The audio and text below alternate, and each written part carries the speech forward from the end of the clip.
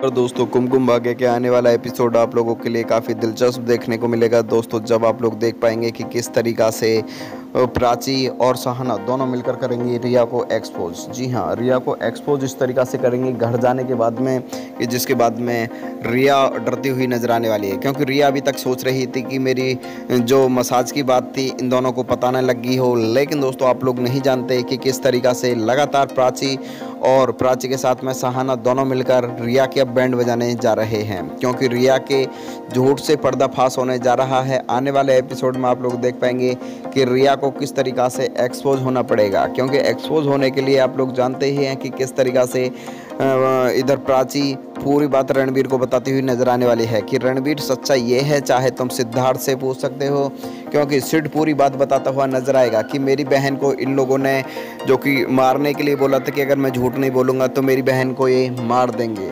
दोस्तों, वाकई में सिड की जो मजबूरी है, वो वाकई में समझ में आ जाती है रणबीर को कि हाँ रिया और आलिया ज़रूर कोई ना कोई गेम प्लान कर रही हैं, क्योंकि रिया और आलिया हमेशा से ही गेम प्लान खेलने में नंबर वन रही हैं और जल्दी ही आप लोगों के बीच में एक बार फिर से ज़बरदस्त कहानी में ज़बरदस्त ट्विस्ट देखने को मिलेगा जहाँ आप लोग देख पाएँगे कि किस तरीक़ा से रणबीर बोलता हुआ नज़र आने वाला है कि, कि क्या रिया ये बात सच है? जिसके बाद में रिया बोलती हुई नज़र आने वाली हैं कि नहीं प्राची हमारे ऊपर इल्ज़ाम लगा रही है हमने ऐसा कुछ किया ही नहीं है हम तो हमें क्या मतलब पड़ा है सिड की बहन के साथ में? लेकिन सिड सच सच बता देगा कि हाँ इन दोनों ने टॉर्चर किया है।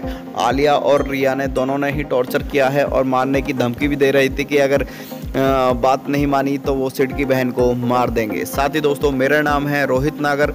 आज आप लोगों के सामने फिर से मैं वीडियो को लेकर हाजिर हुआ हूँ। आप लोगों को बता देना चाहता हूँ कि कुमकुम भाग्य के एपिसोड के लिए आप मेरा यूट्यूब चैनल सब्सक्राइब करें, वीडियो को लाइक करें एंड कमेंट करके आप लोग मेरे को ज़रूर बताइए आपको मेरी वीडियो कैसी लग रही है। थैंक